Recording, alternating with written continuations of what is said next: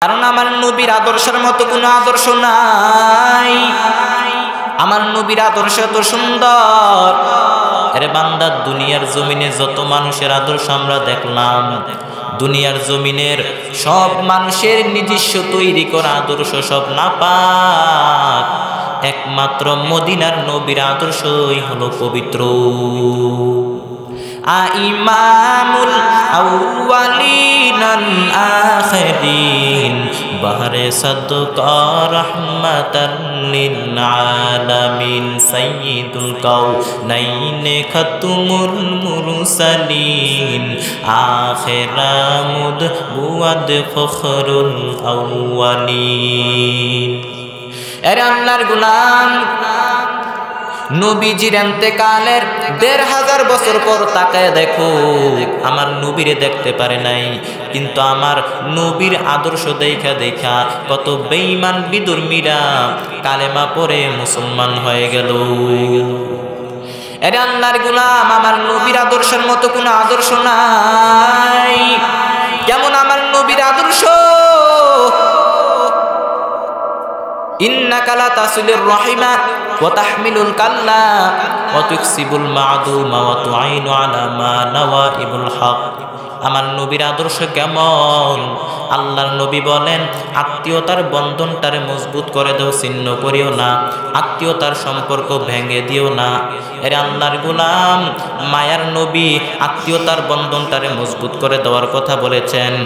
আল্লাহর নবী হাদিসের মধ্যে জানায় দেয়, যারা আত্মীয়তার বন্ধনটা ভেঙে দেয়, তারা কোনোদিনও জান্নাতে প্রবেশ করবে না। শুধু তাই না, আল্লাহর নবী যদি ভাইয়ে ভাইয়ে ঝগড়া হয়, আমার নবী মিলাই দিতেন ঝগড়া লাগলে নবী মিলাই দিতেন।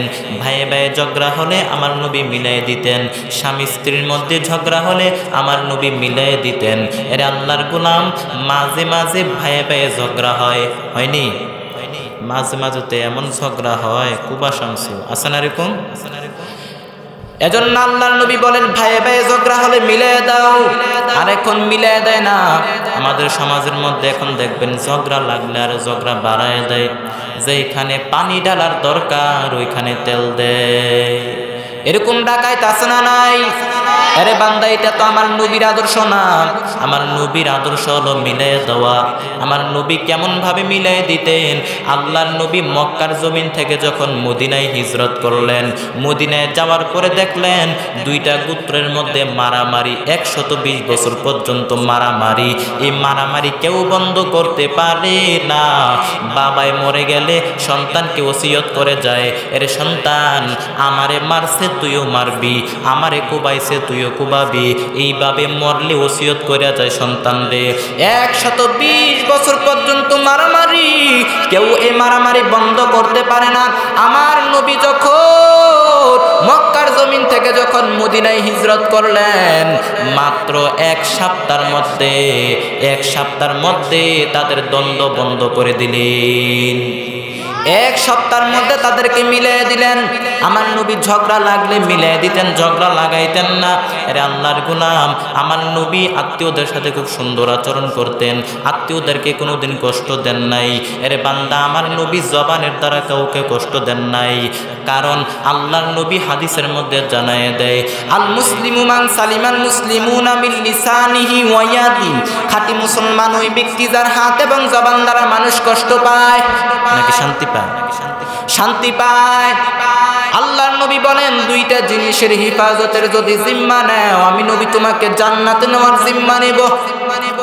মাইয়াজমাল লিমা বাইনা লিহিয়াইহি ওয়া মা বাইনা রিজলাইহি আজমাল্লাহুল জান্নাহ। মায়ার নবী বলেন, দুইটা জিনিস হেফাজতের জিম্মা নেও। এক নাম্বার হলো জবানের হেফাজত করো, দুই নাম্বারে লজ্জাস্থানের হেফাজত করো। এই দুই জিনিসের হেফাজত যদি করতে পারো, আমি নবী তোমাকে জান্নাতে নেওয়ার জিম্মা নিব। যখন আমার নবীকে দুনিয়ার জমিনে পাঠাইলেন, আম্মা জানা বলতেছেন, আমার সন্তান দুনিয়ার জমিনে আসা মাত্র আমি তাকায় দেখলাম, আমার সন্তানের মধ্য থেকে একটা নূর বের হলো। ওই নূরের আলোতে মক্কার জমিন থেকে শত শত মাইল দূরে শাম দেশের প্রাসাদগুলো উজ্জ্বল হয়ে গেল। এরে আল্লাহর গোলাম, আমার নবী আদর্শ পাইয়া সাহাবাই কেরামে তো দামি হয়ে গেল। জাহান নামের মানুষগুলি এত দামি হয়ে গেল। আমার নবীর আদর্শ গ্রহণ করে এত দামি হয়ে গেল। এখন এদের নাম শুনলে আনহু পড়তে হয়। সাহাবি নামের টাইটেল দিতে হয়। আল্লাহ তাআলা বলেন, রদিয়াল্লাহু আনহুম ওয়া আমি আল্লাহ এদের ওপরে রাজি, এরাও আমি আল্লাহর উপরে রাজি। সাহাবায়ে কেরামের কত দাম? আল্লাহর নবী বলেন, আসহাবি আমার এক একটা সাহাবি আকাশের এক একটা নক্ষত্রের মতো। এর বান্দা শুধু তাই না সাহাবায়ে কেরামের এত দাম আল্লাহ পাক রব্বুল আলামিন দুনিয়াতে থাকা অবস্থায় তাদেরকে জান্নাতের সার্টিফিকেট দিয়েছে সাহাবায়ে কেরাম নবীর আদর্শ গ্রহণ করে এত দামি হয়ে গেল কেমন সেই সাহাবায়ে কেরাম والذين معه أشداء على الكفار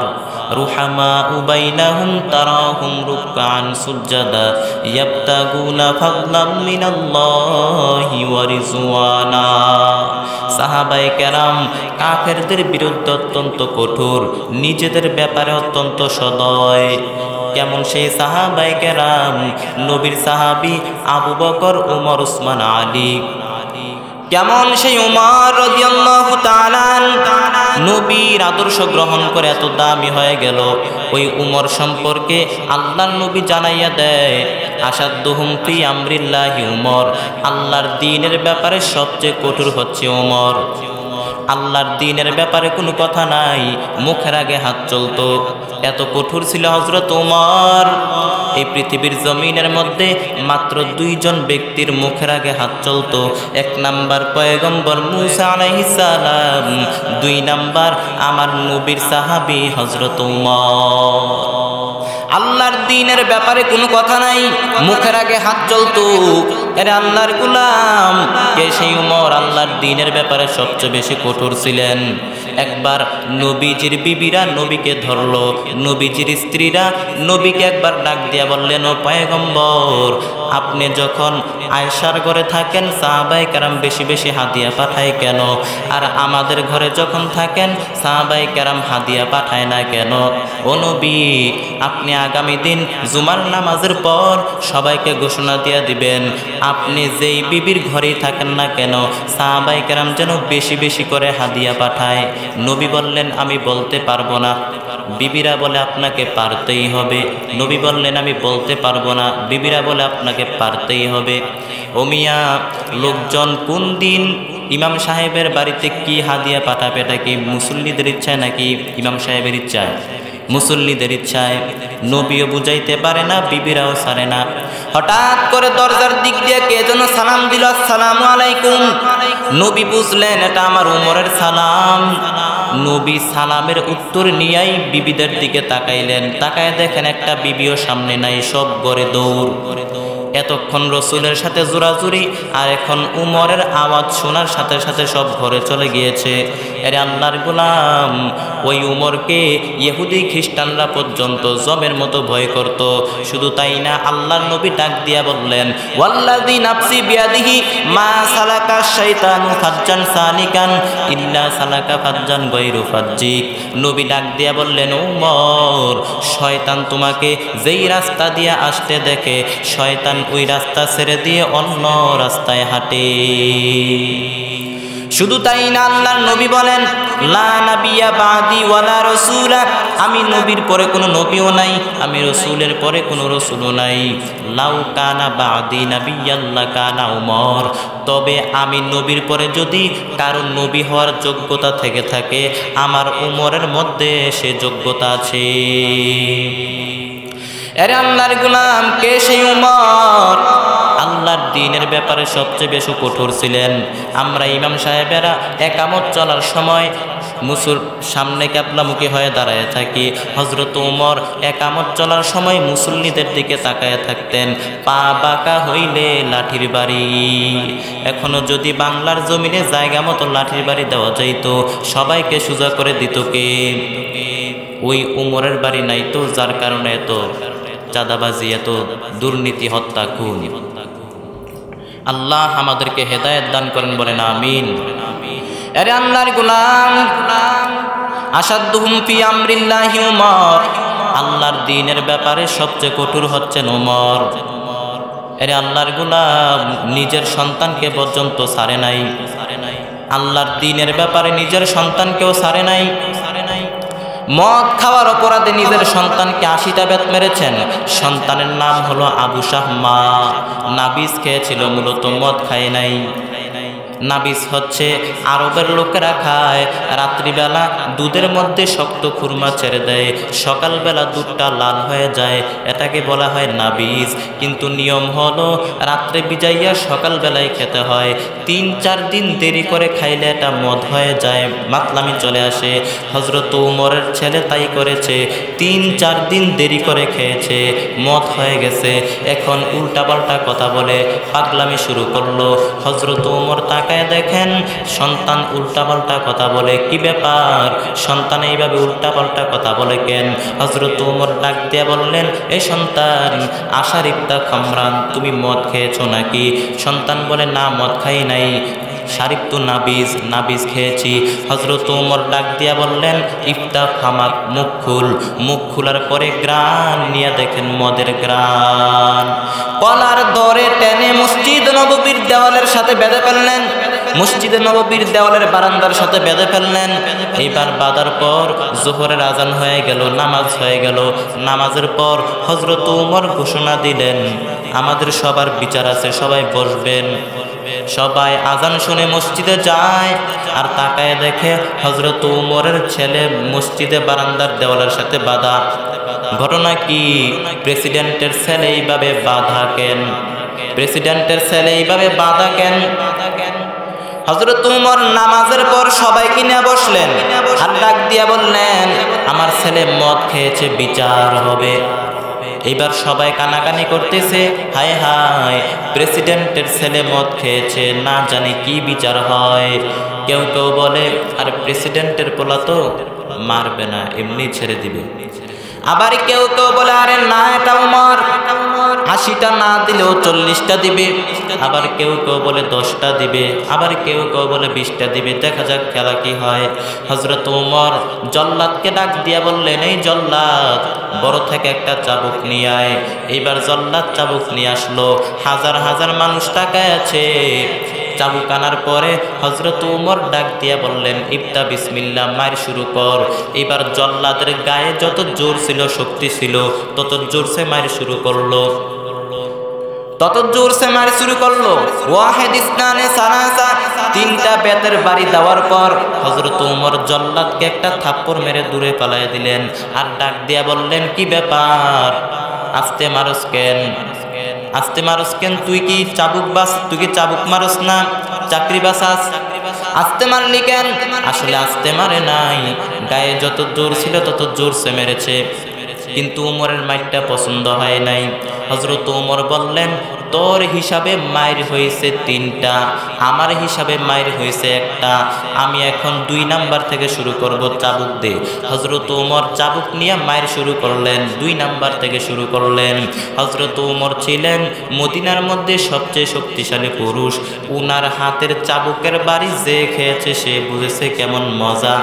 এক একটা চাবুকের বাড়ি দেয় আর চামড়াগুলো ফেটে, রক্তগুলো, চামড়াগুলো ফেটে, রক্তগুলো মসজিদে নববীর দেওয়ালের বারান্দার সাথে লাগে, বারান্দার দেওয়ালের সাথে লাগে এক একটা চাবুকের বাড়ি দেয়, ছেলেটা চিৎকার করে বলে, আব্বা যান, আর জীবনে মদও খাব না না বিজু খাব না, তুমি আমাকে ছেড়ে দাও। হজরত উমরের পাষাণ হৃদয় তখনও নরম হয় না। মারতে লাগলেন মারতে লাগলেন। বিষটা মারার পর হজরত উমরের ছেলে বেউস হয়ে গেল। উমর ডাক দিয়ে বললেন, তাড়াতাড়ি পানি দে, তাড়াতাড়ি মাথার মধ্যে পানি দে, হুশ করা বেয়াদবটারে। হুশ করাবার পর আবার একুশ নাম্বার থেকে শুরু করলেন। তিরিশটা বাড়ি দেওয়ার পর উমরের স্ত্রী এসে ডাক দিয়ে বলল, উমর, তোমার দুইটা পায়ে দড়ি বলি, আমার ছেলেটার এইভাবে শেষ করে দেও না রে উমর।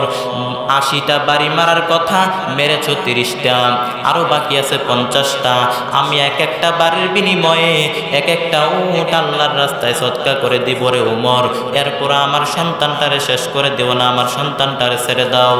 হজরত উমর ডাক দিয়া বললেন, আবু শাহমার মা সরে যাও, এটা আল্লাহর আইন। শুধু পঞ্চাশটা উঠ কেন গোটা দুনিয়াটাকেও যদি আমার হাতে এনে দাও, এরপরেও একটা আশিটা বাড়ির থেকে একটা বাড়িও আমি কম দিতে পারব না। আবু শাহ মারে আমার কাছ থেকে কেউ ফিরে নিতে পারবে না, কেড়ে নিতে পারবে না। এইবার হজরত উমর মায়ের শুরু করলেন, মায়ের শুরু করলেন। পঞ্চাশটা বাড়ি দেওয়ার পর আবু শাহমা দুনিয়া থেকে বিদায় হয়ে গেল কাল করল। এইবার হজরত উমর ডাক দিয়া বললেন, তাড়াতাড়ি গোসল দে, জানাজা দে, কবর দে। কবর দেওয়ার পর কবরের উপরে আবার মায়ের শুরু করলেন। কবরের উপরে মায়ের শুরু করলেন, একান্ন থেকে শুরু করলেন, একান্ন, বাউন্ন। এইভাবে আশিটা বাড়ি পূর্ণ করার পর চিৎকার দিয়ে আল্লাহকে ডাক দিয়া বলে, হে মালিক, কলিজার টুকরা সন্তানটাকে মদ খাওয়ার অপরাধে পিটাইয়া মাইরা ফলাইছি। ও আল্লাহ কিয়ামতের ময়দানে তুমি আমারে জালেম বাচ্চাদের কাতারে দাঁড় করাইতে পারবা না। এরে আল্লাহর গুলাম, এজন্য ইসলাম বলে আইন সবার জন্য সমান। নাকি কারও জন্য কম বেশি আছে?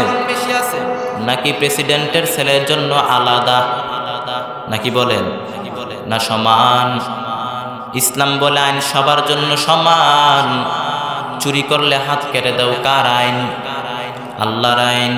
আসারিকু আসারিকাতু ফাকতাউ আইদিয়াহুমা জাযাআম বিমা কাসাবা নাকালাম মিনাল্লাহ। ওয়াল্লাহু আজিজুন হাকীম। চোর আর চূর্ণির হাত কেটে দাও, সমাজটারে সুন্দর করে দিবেন কে? এরে আল্লাহর গুনাম, নবীজির জামানায় বনু মাখজুমিয়া গোত্রের এক নারী চুরিতে ধরা পড়েছে। বড় সম্ভ্রান্ত পরিবারের মহিলা, বড় ধনী মহিলা। এইবার চুরিতে ধরা পড়েছে। এবার সাহাবায়ে চিন্তা করল, নবী যদি এখন এই মাইয়ার হাত কেটে দেয়, তাহলে মদিনাতে ঝামেলা হবে, মদিনায় মারামারি হবে। নবীজির প্রিয় সাহাবি হজরত উসামা রাদিয়াল্লাহু তাআলাহুকে সব সাহাবায়ে কেরাম ডাক দিয়া বললেন, এই উসামা, নবী তোমাকে বেশি মহব্বত করে, নবী তোমাকে বেশি ভালোবাসে। এই ওসামা তুমি নবীকে গিয়া জানাইয়া দেও। নবী যেন এই মাইয়ার হাত কেটে না দেয়। এই মাইয়া বড় সম্ভ্রান্ত পরিবারের মেয়ে, বড় ধনী মহিলা। নবী যেন হাত কেটে না দেয়। হাত কেটে দিলে মদিনার মধ্যে ঝামেলা হবে। এইবার ওসামা চলে গেল নবীর কাছে। নবীর কাছে গিয়া বললেন পায়গম্বর, সব সাহাবাই কেরাম বলেছে, আপনি ওই মহিলার হাত কেটে দিয়েন না। হাত কেটে দিলে মদিনার মধ্যে ঝামেলা হবে, মারামারি শুরু হয়ে যাবে। যখন ওসামা এই কথা বললেন, এই কথা বলার সাথে সাথে সাথে নবীর চেহারাটা আগুনের গোলার মতো লাল হয়ে গেল। নবী ডাক দিয়া বললেন রে ওসামা, এত বড় সাহস তোমাকে কে দিয়েছে? তুমি আল্লাহর আইনের উপর তুমি নাক গলাও। আরে ওসামা, এই আইনটা তো আমি নাজিল করি নাই। আরশের উপর থেকে আইনটা নাজিল করেছেন কে? নবী ডাক দিয়া বললেন রে ওসামা, কোন মাখজুমিয়া গোত্রের নারী চুরিতে ধরা পড়েছে তো দূরের কথা। আজকে যদি আমার কলিজার টুকরা মেয়ে ফাতেমাও যদি চুরিতে ধরা পড়ে, ফাতেমাকে যেই ফাতেমাকে নবী এত ভালোবাসেন, ফাতেমার ব্যাপারে নবী বলেন ফাতেমা হলো আমার কলিজার টুকরা। নবী যখন সফরে যাইতেন, সবার শেষে ফাতেমার সাথে দেখা করে যাইতেন। আবার যখন নবী সফর থেকে ফিরতেন, সবার আগে ফাতেমার সাথে দেখা করতেন। শুধু তাই না, নবী বললেন, ওই ফাতেমারে যদি কেউ কষ্ট দেয় সেজন্য আমি নবীকেই যেন কষ্ট দিল। ওই ফাতেমার মুখে যে হাসি ফুটায় সেজন্য আমি নবীর মুখে হাসি ফুটায়। নবী বলেন, ওই ফাতেমা আমার কলিজার টুকরা সন্তান। কলিজার টুকরা কন্যা।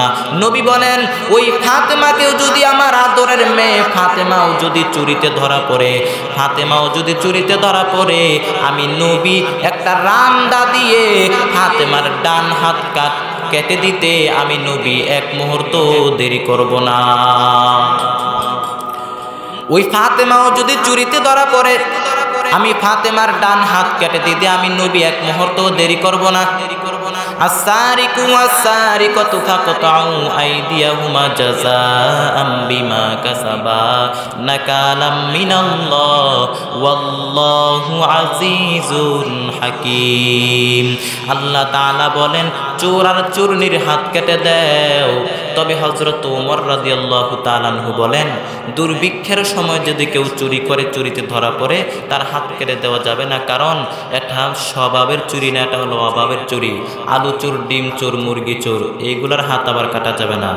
হাত কাটতে হবে বড় বড় চোরদের। এলাকায় সম্মান আছে, পেটে খাবার আছে, গায়ে জামা আছে। এরপরও গোটা দেশটা রেখে ফেলতেছে, এরকম ডাকাইতে আছে না নাই? এক কলমের খোঁচায় হাজার কোটি টাকা বিদেশে প্রচার করে দেয়, রাস্তার টাকা মেরে দেয়, ব্রিজ মেরে দেয়, জনগণের টাকা মেরে ফেলে, জনগণের টাকা আত্মসাত করে ফেলে, এরকম ডাকাইতে আছে না নাই? ঘুষ খেতে খেতে পেটটারে হাতির পেটের মতো মোড়া বানাইছে। তুমি সুদের টাকায় প্রাসাদ কর, ঘুষ ছাড়ো না। দিন দুঃখী না কে মরে, খবর রাখো না। তুমি সুদের টাকায় প্রাসাদ কর, ঘুষ ছাড়ো না। দিন দুঃখী না খেয়ে মরে? খবর রাখো না তুমি। ঘুষ খেয়েও বিচার করো, সাজিয়া প্রধান। তুমি ঘুষ খেয়েও বিচার করো, সাজিয়া প্রধান। তুমি কেমন মুসলমান, তুমি কেমন মুসলমান।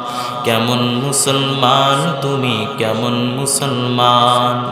তুমি রমজান এলে রাখো না রোজা দিনকে করো আঘাত? পয়সা করির নেই তো অভাব, দাও না তো জাকাত তুমি রমজান এলে রাখো না রোজা দিনকে করো আঘাত? পয়সা করির নেই তো অভাব, দাও না তো জাকাত ঠিক কিনা বলেন? আপনাদের কি কষ্ট হইতেছে? সবাই বসবেন তো ইনশাল্লাহ মাহফিল কি হবে ইনশাল্লাহ আল্লাহ আমাদের সকলকে কবুল করেন বলেন, আমিন। আজকের এই মাহফিলকে কবুল করেন বলেন, আমিন। আল্লাহর গুলাম, বলছিলাম সাহাবাইকরাম নবীর আদর্শ পেয়ে এত দামি হয়ে গেল। লাকদ কানা লাকুম ফি রাসূলিল্লাহি উসওয়াতুন হাসানা সাহাবাই কেরাম, আমার নবীর আদর্শ এত সুন্দর। আল্লাহ তাআলা বলেন, অবশ্যই রহমাতুল্লিল আলামিনের মধ্যেই রয়েছে তোমাদের জন্য উত্তম আদর্শ। এর বান্দা, আমার নবীর আদর্শ এত সুন্দর। যেই নবীর আদর্শের মধ্যে কোনো মিথ্যা নাই, যে নবীর আদর্শের মধ্যে কোনো আমানতের কোনো খেয়ানত নাই, যে নবীর আদর্শের মধ্যে কোনো ওয়াদার কোনো খেলাপ নাই যে নবীর আদর্শের মধ্যে কোনো ঝামেলা নাই। এরে আল্লাহর গুলাম আমার নবীর আদর্শ এত সুন্দর। যে ব্যক্তি আমার নবীর আদর্শকে গ্রহণ করবে, ওই বান্দাও দুনিয়ার জমিনে হয়ে যাবে অনেক সুন্দর মানুষ। কারণ আমার নবীর আদর্শের মতো কোনো আদর্শ নাই। আমার নবীর আদর্শ এত সুন্দর। আরে বান্দার দুনিয়ার জমিনে যত মানুষের আদর্শ আমরা দেখলাম, দুনিয়ার জমিনের সব মানুষের নিজস্ব তৈরি করা আদর্শ সব না পাক। একমাত্র মদিনার নবীর আদর্শই হলো পবিত্র। আইমামুল আউয়ালিনাল আখিরিন। বাহরে সাদকা রাহমাতাল লিল আলামিন সাইয়্যিদুল কাউনাইন খাতুমুল মুরসালিন আখিরামুদ বুয়াদ ফখরুল আউয়ালিন। এর আল্লাহর গুলাম। নবীজির এতেকালের দেড় হাজার বছর পর তাকায় দেখো, আমার নবীরে দেখতে পারে নাই। কিন্তু আমার নবীর আদর্শ দেখা দেখা কত বেঈমান বিদুর্মীরা কালেমা পরে মুসলমান হয়ে গেল। আমার নবীর আদর্শের মতো কোনো আদর্শ নাই। কেমন আমার নবীর আদর্শ ইন্নাকা লা তাসিলুর রাহিমা ওয়া তাহমিলুল কাল্লা ওয়া তুকসিবুল মা'দুমা ওয়া মা আমার নবীর আদর্শ কেমন? আল্লাহর নবী বলেন, আত্মীয়তার বন্ধনটার মজবুত করে দেও, ছিন্ন করিও না। আত্মীয়তার সম্পর্ক ভেঙে দিও না। এর আল্লাহর গুলাম, মায়ার নবী আত্মীয়তার বন্ধনটারে মজবুত করে দেওয়ার কথা বলেছেন। আল্লাহর নবী হাদিসের মধ্যে জানায় দেয়, যারা আত্মীয়তার বন্ধনটা ভেঙে দেয়, তারা কোনোদিনও জান্নাতে প্রবেশ করবে না। শুধু তাই না, আল্লাহর নবী যদি ভাইয়ে ভাইয়ে ঝগড়া হয়, আমার নবী মিলাই দিতেন ঝগড়া লাগলে নবী মিলাই দিতেন। ভাইয়ে ভাইয়ে ঝগড়া হলে আমার নবী মিলাই দিতেন। স্বামী স্ত্রীর মধ্যে ঝগড়া হলে আমার নবী মিলাই দিতেন। এর আল্লাহর গোলাম, মাঝে মাঝে ভাইয়ে ভাইয়ে ঝগড়া হয়। হয়নি? মাঝে মাঝেতে এমন ঝগড়া হয় কুবা শামসু আসেন এরকম এজন্য আল্লাহর নবী বলেন ভাইয়ে ভাইয়ে ঝগড়া হলে মিলে দাও। আর এখন মিলে দেয় না। আমাদের সমাজের মধ্যে এখন দেখবেন ঝগড়া লাগলে আর ঝগড়া বাড়ায় দেয়। যেখানে পানি ডালার দরকার ওইখানে তেল দেয়। এরকম ডাকায় তাসনা নাই? আরে বান্দা, এটা তো আমার নবীর আদর্শ না। আমার নবীর আদর্শ হলো মিলাই দেওয়া। আমার নবী কেমন ভাবে মিলাই দিতেন? আল্লাহর নবী মক্কার জমিন থেকে যখন মদিনায় হিজরত করলেন, মদিনায় যাওয়ার পরে দেখলেন দুইটা গোত্রের মধ্যে মারামারি, একশত বিশ বছর পর্যন্ত মারামারি। এই মারামারি কেউ বন্ধ করতে পারে না। বাবায় মরে গেলে সন্তানকে ওসিয়ত করে যায়। এর সন্তান, আমারে মারছে, তুইও মারবি। আমারে কুবাইছে, তুইও কুবাবি, এইভাবে মরলে ওসিয়ত করে যায় সন্তান রে। একশত বিশ বছর পর্যন্ত মারামারি, কেউ এই মারামারি বন্ধ করতে পারে না। আমার নবী যখন মক্কার জমিন থেকে যখন মদিনায় হিজরত করলেন, মাত্র এক সপ্তাহের মধ্যে, এক সপ্তাহের মধ্যে তাদের দ্বন্দ্ব বন্ধ করে দিলেন। এক সপ্তাহের মধ্যে তাদেরকে মিলিয়ে দিলেন। আমার নবী ঝগড়া লাগলে মিলিয়ে দিতেন, ঝগড়া লাগাইতেন না। এরে আল্লাহর গুলাম, আমার নবী আত্মীয়দের সাথে খুব সুন্দর আচরণ করতেন। আত্মীয়দেরকে কোনোদিন কষ্ট দেন নাই। এরে বান্দা, আমার নবী জবানের দ্বারা কাউকে কষ্ট দেন নাই। কারণ আল্লাহর নবী হাদিসের মধ্যে জানায় দেয় আল মুসলিমু মান সালিমান মুসলিমুনা মিন লিসানিহি ওয়া ইয়াদি। খাঁটি মুসলমান ওই ব্যক্তি যার হাত এবং জবান দ্বারা মানুষ কষ্ট পায়। নাকি শান্তি পায় শান্তি পায়। আল্লাহর নবী বলেন, দুইটা জিনিসের হিফাজতের যদি জিম্মা নেও, আমি নবী তোমাকে জান্নাতে নেওয়ার জিম্মা নেব।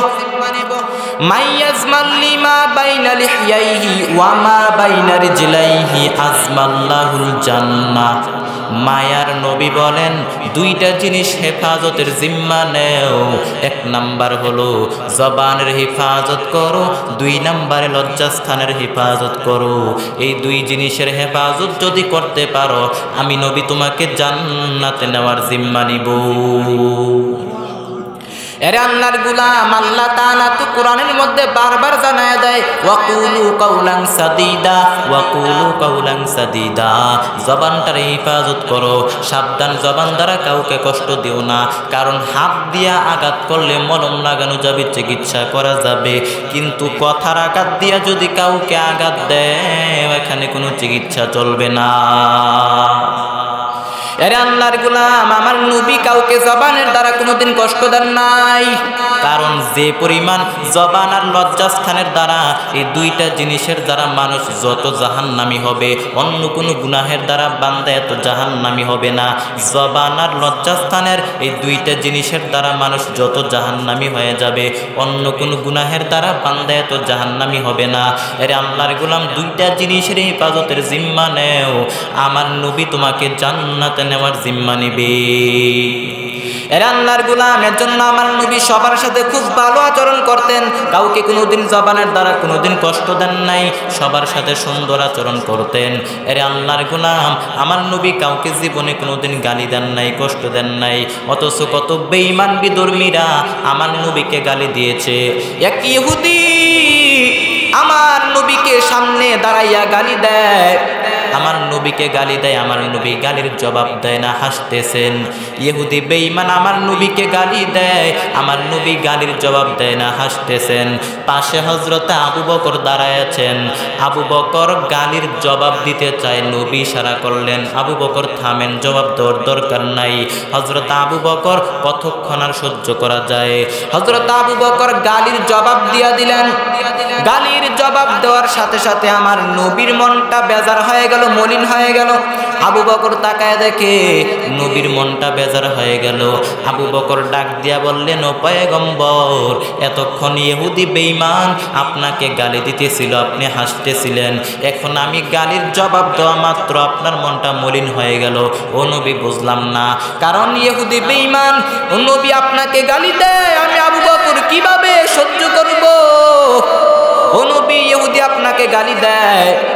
জবাব দেওয়ার পর আপনার মনটা মলিন হয়ে গেল কেন বুঝলাম না। নবী ডাক দিয়া বললেন, আবু বকর এতক্ষণ যে বেঈমান আমাদেরকে গালি দিতেছিল, আল্লাহর একজন রহমতের ফেরেস্তা আমাদের পক্ষ হইয়া গালির জবাব দিতেছিল। যখনই তুমি গালির জবাব দিয়া দিলাম যখনই প্রতিবাদ করে ফেলনা তখন রহমতের ফেরেস্তা চলে গেল। আমার মনটা বেজার হয়ে গেল। এরে আল্লাহর গুনাম আমার নবী জবানের দ্বারা কোনোদিন কাউকে গালি দেন নাই, কাউকে কষ্ট দেন নাই, বরং নবী ভালো ব্যবহার, উপহার দিয়া দিতেন। শুধু তাই না, অথচ কত বেইমান আমার নবীকে গলার মধ্যে গামছা লাগাইয়া জুরে টান দিয়া দিত। নবীর জিব্বা মুবারক বের হয়ে গেল। নবীর ঘাম জড়তেছে খুব কষ্ট পাইতেছে, চেহারা মুবারক লাল হয়ে গেল। জোরে টান দেওয়ার পরে বেইমান আমার নবীর গলা থেকে রুমালটা ছেড়ে দেওয়া মাত্র। আমার নবী ওই বেইমানের হাতের সাথে হাত মিলাইয়া মুস্কি হাসে দিলেন। এরপরও আমার নবী কোনো কিছু বলেন নাই। এরে আল্লাহর গুলাম, আমার নবী কারোর সাথে কোনোদিন খারাপ আচরণ করেন নাই। নবী বলেন, সিলমান কত আকা ওয়া আফওয়াম্মান জলামাক ওয়া আহসিন ইলামান আসা আত্মীয়তার বন্ধনটারে ছিন্ন করিও না রে উন্মত আত্মীয়তার বন্ধনটারে বরং মজবুত করে দাও। কেউ যদি তোমারে গালি দেয়, তুমি প্রতিবাদ করিও না, তুমি গালি দিও না। তুমি ভালো ব্যবহার, উপহার দিয়ে দাও। কেউ যদি তোমার উপরে জুলুম করে, তুমি তাকে মাফ করে দাও। আরে আল্লাহর গুনাম, কেমন আমার মায়ার নবীর আদর্শ? আল্লাহ পাক প্রবুল আলামিন আমার নবীর আদর্শকে গ্রহণ করার তৌফিক দান করেন বলেন আমিন। নবীর আদর্শ মেনে মেনে চলার তৌফিক দান করেন বলেন আমিন।